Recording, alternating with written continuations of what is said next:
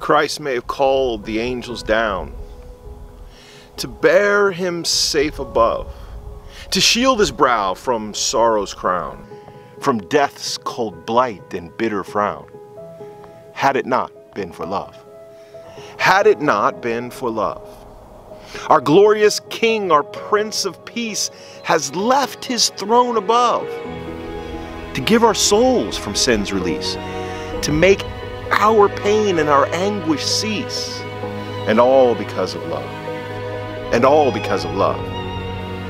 By faith in him, we all may see in realms of light above, through streams of blood on Calvary, a joyful immortality.